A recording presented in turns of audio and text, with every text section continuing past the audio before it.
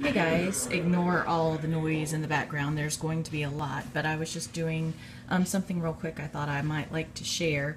And it is how to combine candles. I don't know if you're like me, you like to do candles. They get like this, if you can see, where there's just a little bit of wax in the bottom, but it either has burned uneven or it's all the way down and you're out of your wick. So what I do is I take all these and um, what I found works really well is a grapefruit spoon and you can dig the little metal thing out of the bottom that holds the wick um, or you can just use a knife and cut the wax into sections and pry it out. You're going to get dirty because there's black on the inside um, but then when you have one empty um, you just keep putting the wax into another one. I microwave it. You can also set it in a pot of boiling water and just keep adding the wax. But I'm just doing this really fast. So um, I've just been microwaving it. So this one I still have to dig out and add into the melted wax.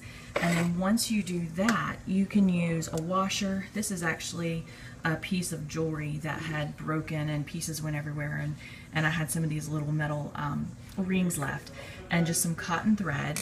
If it's a short candle you're going to remake and pour into something small, um, something like this, I just use an old birthday candle and once it sets really well I just put it down into the candle and that works real real well.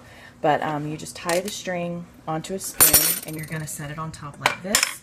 Drop it down into the bottom and this is going to be your new wick. And I'll go ahead and put it all together and show you how it's done.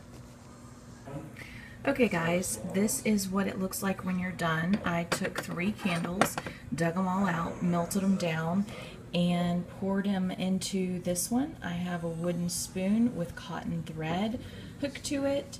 And like I said, if you have one like this, a small one, you can use just little birthday candles um, as your wick inside, and that works really well. So I have this set up. The weight is on the bottom, keeping it in. So when you try and center it, you know, as well as possible, it's going to wiggle around just a little bit. But um, dip your cotton thread in the wax and then put it down in there. You want the, um, the tip of the wax, or the cotton thread that's coming out to be covered in wax also. And then once it has completely set, you can undo it, you can clip the cotton thread, and you have another candle. So this one is not all the way full. It's maybe three quarters full, and it's a blend of a couple of different scents, but I always buy these when they're on clearance or from the dollar store. So this is the um, a better quality of the candle. These are some of the better Home and Gardens um, candles and like I said I always get them on on clearance. But um, it, it, works it works really well and you're not just throwing away that last little bit of wax.